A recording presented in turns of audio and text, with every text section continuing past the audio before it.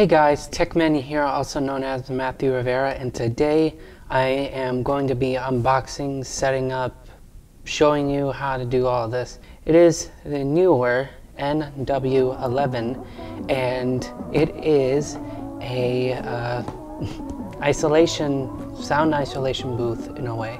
So let's get started.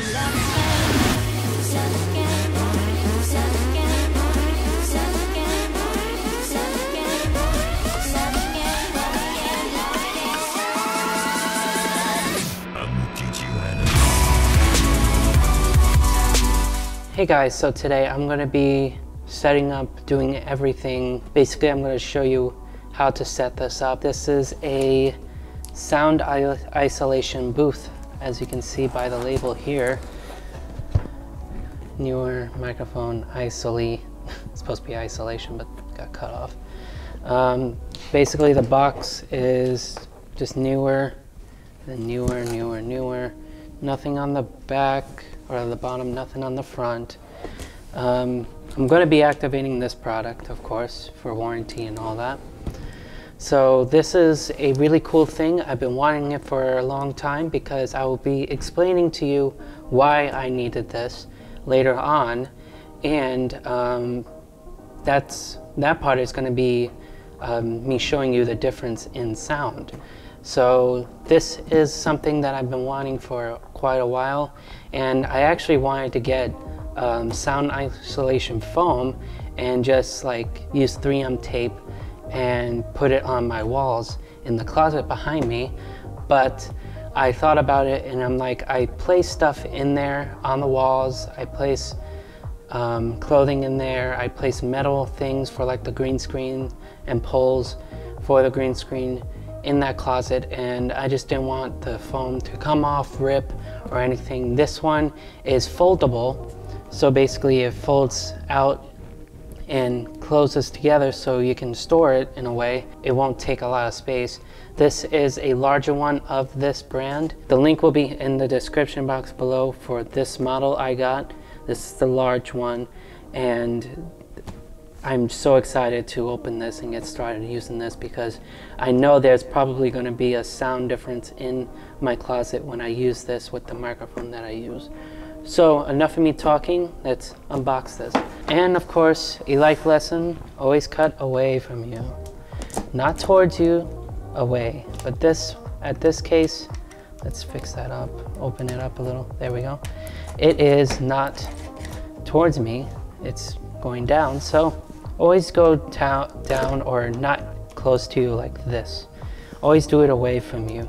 It's a life lesson everybody should learn. Alrighty. Hopefully that's the last cutting for this.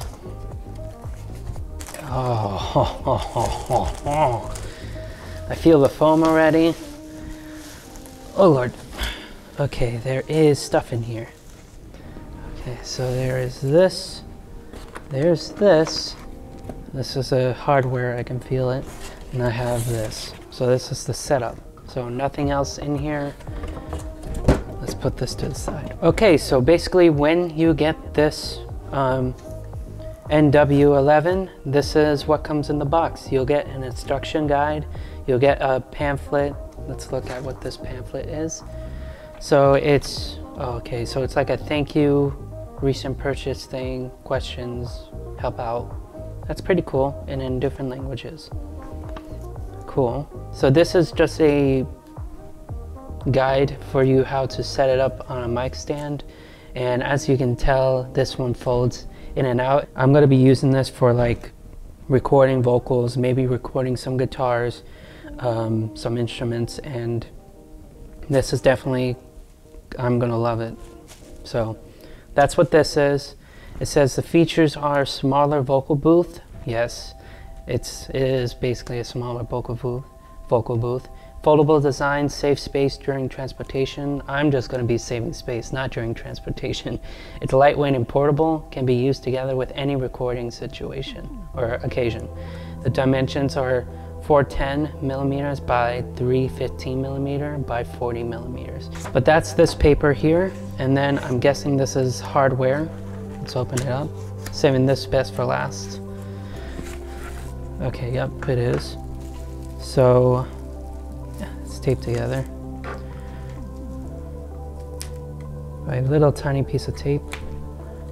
Come on. That's what you get with a dull knife. but, um, this is what you get. I can tell this is very, very good. You get a um, adapter here. That's very nice. Um, this turns, unscrews. Uh, so I'm assuming this goes like this. So let's set this off to the side and get this unboxed or unwrapped, unbubble wrapped, unwrapped. One of the two. so we have a tape here, probably the tape up top. Dull knife. Alrighty. Bubble wrap heaven right here. Wow, this is very light. Jeez, oh. Good thing I caught that. By the looks of it, these are adjustments. There are tabs here on both top, both top and bottom. They're adjustments, I'm guessing, to either open or fold them or um, to lock them in place. This is the screw end up top to, I guess, place on the microphone. I'll see what with this thing. We have the Neewer NW11 vocal booth badge here. That's pretty cool. It's not going to really be seen, but it's a nice detail to have. Very nice. So this is how you open it. So let's open it. I'm trying to be so careful. Okay. Okay. That wasn't as bad. So basically, this is what it looks like. Let's hold it in place. So this is what it looks like. We have small types of um, tip foams here. This is a pretty thick um, foam. You can feel how dense it is, how thick it is going into this panel. So that's what this is. And um, as you can tell, you can shrink it down, you can pull it open, you can even do it like very small. It's just whatever you prefer, but also you can close it up completely for transportation. So basically this is what's in the box. You get the hardware, this instruction guide, this pamphlet, that's it. And for the price, I can tell this is a very good quality. I know it's not gonna break because I'm not gonna be unscrewing it, folding it, putting in a bag or whatever, moving it to a different thing, undoing it, just repetitively not doing it. It's gonna stay in my closet folded. This thing, my monitor stand, and this is like what I got.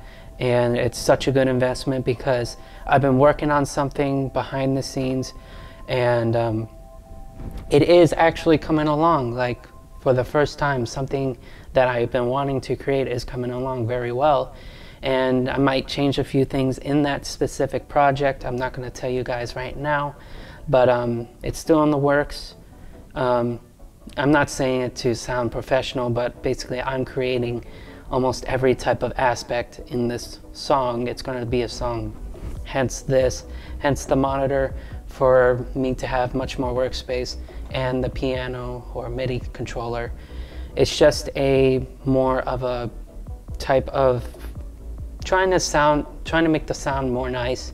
And basically I got this because I was using blankets in there and I'll show you why I needed this right now. So let's jump into my closet and I'll show you why I needed this. Alrighty, so basically this is what I've been doing for the last few years. Um, basically, when you come in here, usually this thing is um, up close to the wall that a person can sit here, but I'm not going to place a seat in here for right now because um, I need space to work in. Um, basically, a tip of the wise is that I've been doing this for a long time and I didn't even realize what I've been doing and it's the correct way. But um, basically, I learned from one of my classes is called recording techniques is that basically if you try to place your microphone across a center leg here, or at least try to, because you can tell right here that it's uneven. it's uneven, but it's not easily to fall. Like, I have to push to lift this. But if it's like this, let's move this over here. If it's like this, it's more easier to topple over. And you don't want to do that with like a condenser microphone, which is $60 or even a Neumann a thousand plus dollar one because you're screwed. So basically, just a caution and word of wise, place it over this. And that's what I've been doing for the past few years is that I've been placing it in a corner here, placing this up a little bit, bring this thing down, placing the microphone a few inches or the pop filter a few inches away and the person sings. And recently it has been my sister. I haven't had um, an opportunity to come into my own booth, booth, but um, that's basically how you do that. And basically, if I close this door right now, but you can probably hear it, I hope you can, is that this area sounds very, very dry. So if I close this right now, I'm gonna leave it half one open, but there is light in here. But if I do it like this, you can hear the room as I talk. I hope you can hear the room. Let's close this more. There is light in here, so we're good. Um, basically, this is what it sounds like. Um, let me connect the MXL so you can hear what it sounds like through the MXL. So testing, testing, one, two, three. This is what the microphone, the lavalier fine, fine um, lavalier wireless microphone sounds like. And this is what the MXL 990 sounds like. As you can see, I have to be very close, but I can actually walk away. Be over here and you can hear the room or just the sound of this small space. And it sounds very airy and um, that's why I got this um, isolation booth here. It might eliminate the reflection back here. So basically the reflection of my voice hitting this wall constantly back and forth, it will hit this wall, but that's gonna be there, the isolation, so it might not be as prominent. I don't know if it's going to fix this airy type of thing. I might still have to use this blanket down here because of just the space. I have a like two handmade C um, clips here and then I use paper um, clips there. Not paper, but the ones that you can clamp. Let me show you. Grab this C thing, I place it in here like this. I hope you can see and I place it, these paper things right here. And this connects to one of these ends on the blanket here. And this blanket is like a very heavy, heavy blanket. Even when it's um, unfolded, it's very heavy. So basically, um, I still might have to use that here. Um, it was here and then it draped over. I actually had a shower curtain rod going across here with the same type of blanket here going across like this and coming down in front of these doors. So um, that's why I got this isolation booth. Um, I'm going to show you what it sounds like with the wall or it's not a wall. Foam.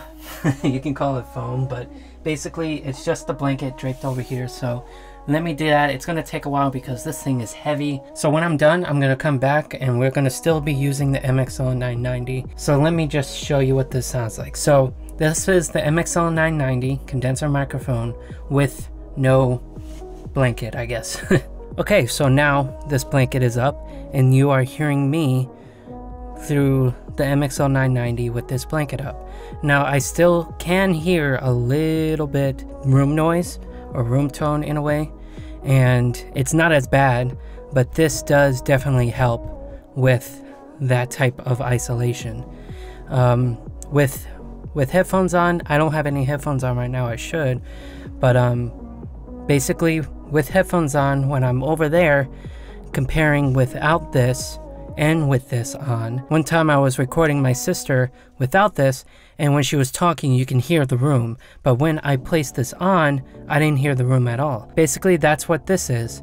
And this is what it sounds like. It sounds nice, I know it will. Let me just get headphones on to make sure it sounds good. So I have my headphones plugged in to this extension cord right here. This extension cord goes down there through through this carpet, goes out the other side, goes behind my dresser and into the audio interface that I have, and it's controlled via the headphone jack or the headphone knob. And I attenuate that for whoever's in here for their liking, and then I have to suffer through loud music because usually the headphones that I put in here are um, open back. Basically, it has like a grill right here and it bleeds out badly. And basically, it's not suited for recording because sometimes if you mute the instrumental track, you can hear it through the microphone. So, so anyways, let me place this on. Ready? Test, test, one, two, three. Test, test. Wow, that actually sounds pretty good. There is a latency delay from what I'm hearing to here, but that's just regular. But you guys will hear the um, the final product, not latency or anything. Um, the latency is the samples, and I can't really um, adjust that because the specific sample rate I have is default and it works absolutely perfectly. So this is what it sounds like. And the problem with this setup with the bat with this is that with this door closed, you can after a while because of your breath and just your natural body heat, this room is heating up and it's heating up right now. I'm feeling hot, not like sweaty hot, but I am feeling hot because of this because this basically is a thick material and it traps your heat along with this. So, and what was really weird is that when I first started, I was using a halogen light bulb, which conducts so much heat, and it was horrible.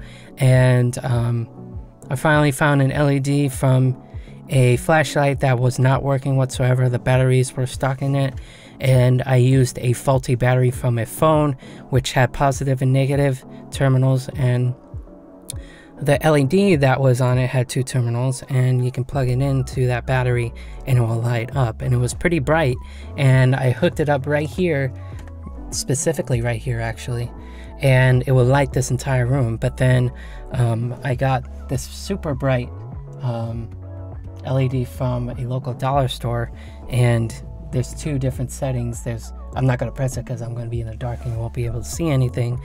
But there's a um, when you press this, it's low, and then when you press it again, it's off. And then when you press it again, you turn it on for high.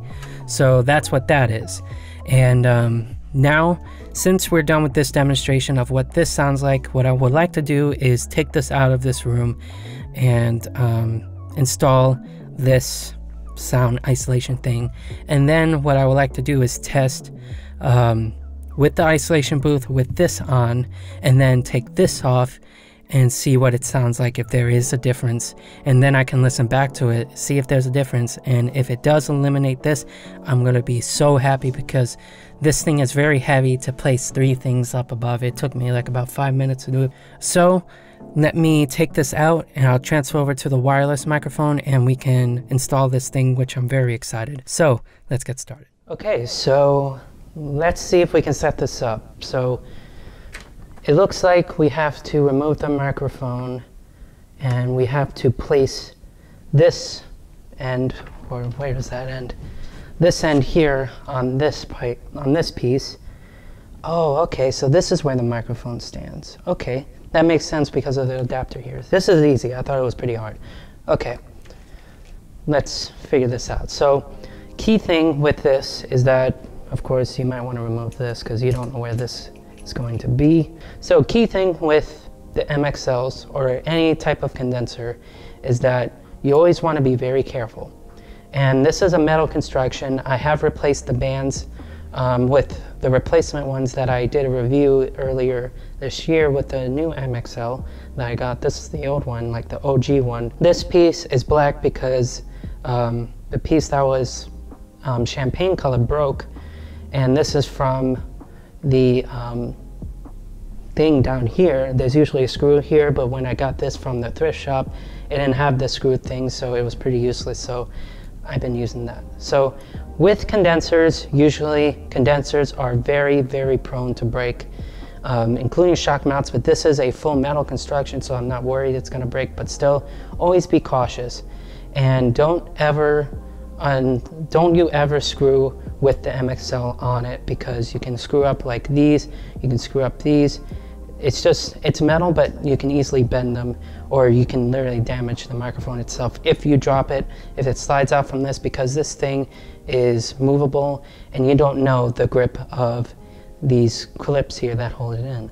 So I have my OG box here for the MXL. There's stuff in it. Okay, so this is what broke here. So as you can see, this broke right here, so it's you can't use it. So that's what broke on this sadly. Here's the other piece. See how it just snapped in half and then it snapped again. And I'm like, oh, that sucks. So this is what I was talking about here. I grabbed this piece from this. This cups on the bottom and then you can screw that. That one over there has it, but I'm not using it. I'm using the shock mount and you can screw it in. So that's why I took that off. But set aside from that, you always want to place this in a safe place. And the best place is the original box, right there. And close it up and place it not when it's not going to fall. You do not want that to fall. Um, that's a little too much but you can place it like on your bed, on something soft, away from a corner, or away from when it rolls off. So um, basically, what you could do with these things is that since this was on loose, I didn't really have to do it because I don't really like yank it hard, but basically it's hand tightened so I can do that. But sometimes to make the process easier, you can place this up like this, undo it, and you can turn this thing like so. This thing is still tight and you can turn it like this without doing this and turning it, turning this and turning it. It's basically you're doing all the job with this thing here. So that's that. You can place this right in here. Input or small tab here. So I should have not placed this away.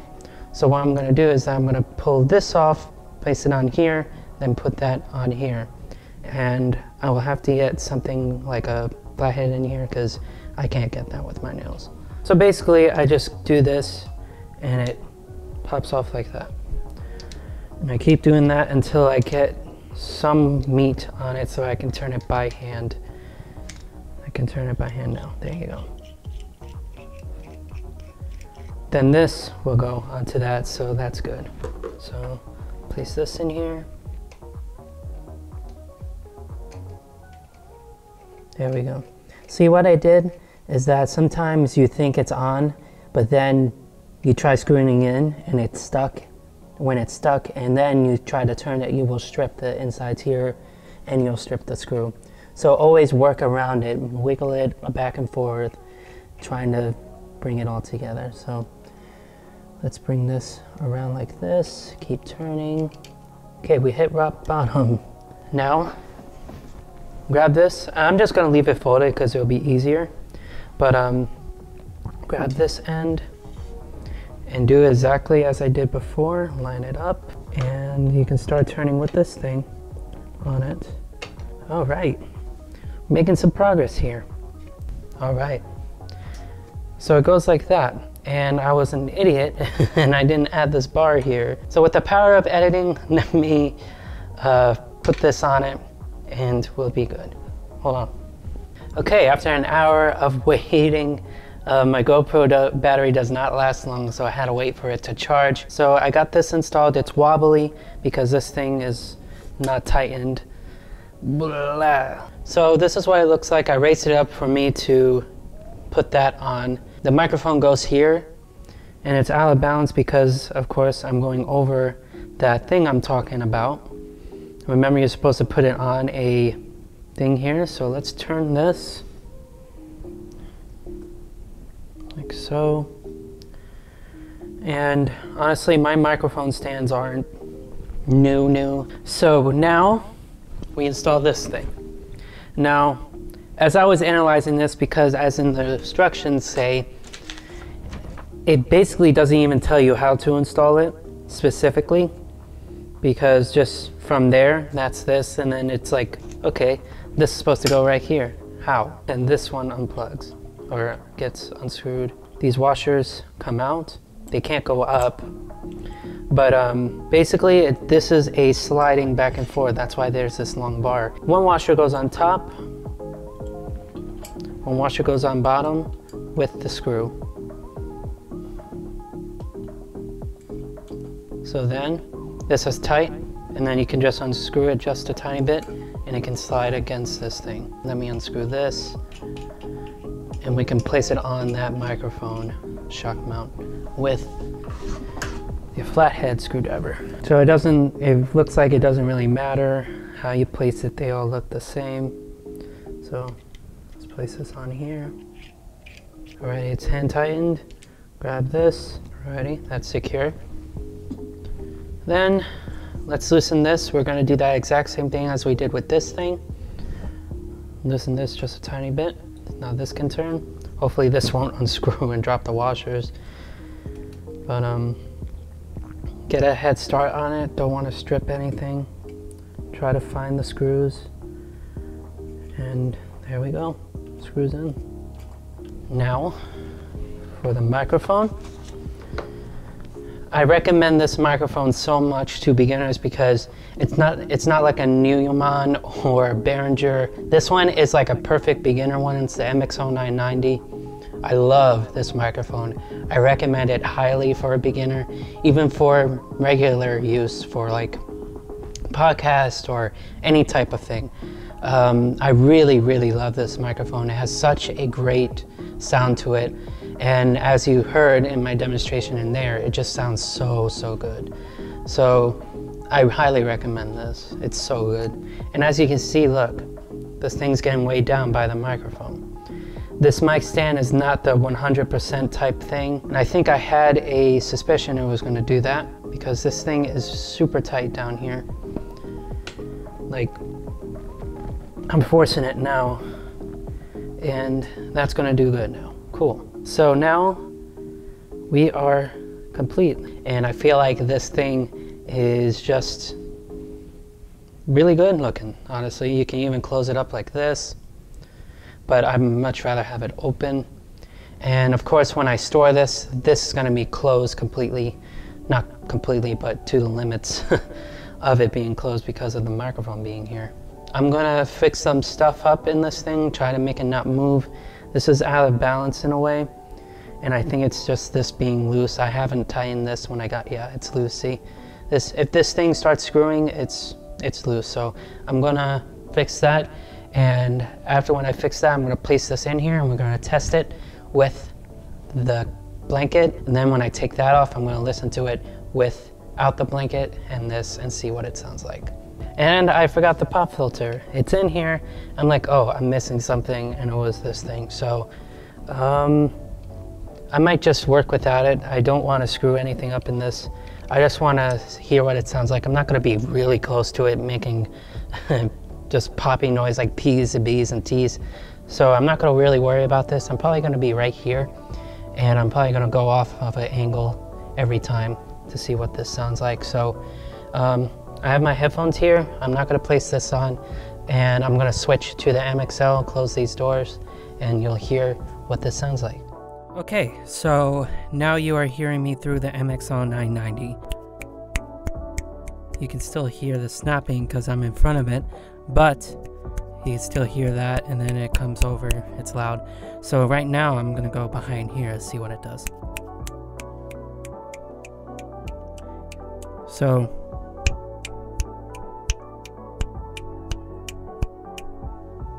I hear a difference. As I said, really the only thing I can hear it through is through the program itself with headphones, no latency, no nothing. And I'm going to see what that sounds like. And then I'm going to compare it between um, without the sound isolation with this, and then with the sound, sound isolation with this. And then I'm going to compare it without sound isolation, without the blanket and with sound isolation without the blanket. I think I said that right. When you talk through the diaphragm, it's going to hit this thing and it's going to absorb it. Unlike without it, it hits the diaphragm, but it has nowhere to go. It just goes like this and it dispersed all across the room. Unlike this thing is that it's going into here directly and it's just getting absorbed. So as I was saying, as I step back, you can still hear the room because I am like right in front of it. And my voice is traveling to it, trying to get to it, and it's picking up the ambient room noise in it. So basically, that's pretty pointless for me to test that. But um, basically, this is what it sounds like with this thing closed. It might not be a difference, but this is with it open. And I'd much rather have it open because this way it's it just looks weird. Why would you do that? I mean, if you I have seen those things with boxes and then the isolation foam and the microphone is in the center. I've seen those, but I don't like that. I like this open. That that actually really does look better. right now, I'm gonna take this blanket out, not drop it to the floor. I'm literally just gonna take it out because it have to it has to be folded. So let me do that, and I'll come back to you, and we're gonna compare it. So this is what it sounds like with the isolation and with the blanket. Okay, so now this blanket is up, and you are hearing me through the MXL 990 with this blanket up. Okay, so this is what it sounds like without this thing. And I don't know if I hear a difference. I will have to tell. But um, this is what it sounds like. And of course, once you do that and I step back, probably the room noise is a lot worse. Because basically, without this thing, it's not bouncing off, absorbing it, it's hitting a flat surface and it's bouncing all over the place. So basically, if you ever threw a bounce bouncy ball on a corner, it does that's what my voice is doing. Unlike this one, when you try to hit it with a bouncy ball, you bounce it off the floor and it hits this, you can see it like diffuse and the ball drops to the ground because the energy of that bouncy ball got absorbed. So that's what the blanket does. It absorbs the sound or this echo in here. So this is what it sounds like with just the isolation. This is the MXL 990 condenser microphone with no blanket, I guess. and I hope it sounds good. I hope I don't hear the room um, in it. I will only find out when this video is being edited. And um, of course, I'm probably going to talk right now and have what I think um, somewhere on the screen. And I'll do my outro. Have you subscribed yet? If not, what are you doing? You should. When you subscribe, there is something called a notification bell, and when you press that, you will get notified whenever I upload a video like this or any type of video. And I also have a vlogging and gaming channel. The links will be in the description box below, and you can check it out at the last 20 seconds of this video. So head to those channels. You can see what I do for fun. Vlogging is a very rare thing nowadays because of college. I even tried Friday of this week and I just recorded one thing, actually two things. That's it. I couldn't record anything else because classes are just crazy. I have AP classes on Friday. That's my longest days there. So basically, it's just all. So just go ahead and check it out if you want to see me play games or just vlog stuff. I have a few vlog videos up there from last year and a little bit of this year. Very little. Again, guys, again, thank you so much for watching. I hope you enjoyed this video. Um, I hope this video is informative of how to set it up. It's pretty basic, pretty easy, and also informative in a way if you want to spend this type of money or just spend on this thing. I know this thing will help out a lot because um, it will. I just pray that it will work out because I won't have to keep placing this blanket in here. So let me open this door to get some light in. I'm probably going to be placing the pop filter probably on here or here, anywhere that will fit. So once again, guys, finally, thank you so much for watching. I hope you enjoyed this video, and this is the Tech Manny signing off. Can I take